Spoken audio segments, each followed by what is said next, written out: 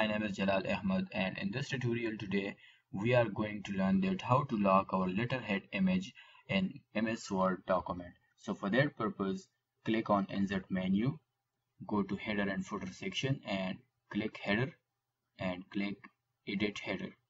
In here you will select picture, select your letterhead picture. I will select this one, click insert and let me show you the whole document. Okay. Now we see that these edges are not touching the borders of our document. So for that right click on the picture size and position.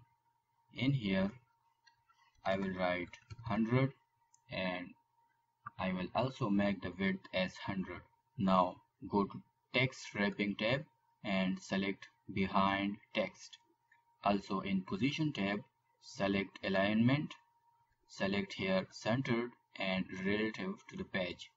In here, vertically I will select alignment and these two options leave it as it is. Press OK and you will see the edges of our picture is now touching the border of our document. Now go to design tab and press this button and you will see that the image is now locked. We cannot edit the picture now.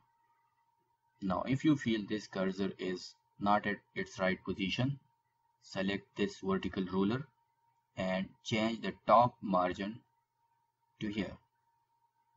And now you can write it. So that was about this tutorial.